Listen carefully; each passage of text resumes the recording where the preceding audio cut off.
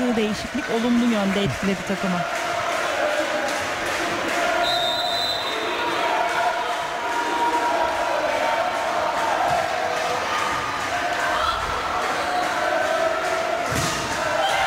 Blok geliyor bu sefer de Neriman'a. Bir önceki setteki ritmine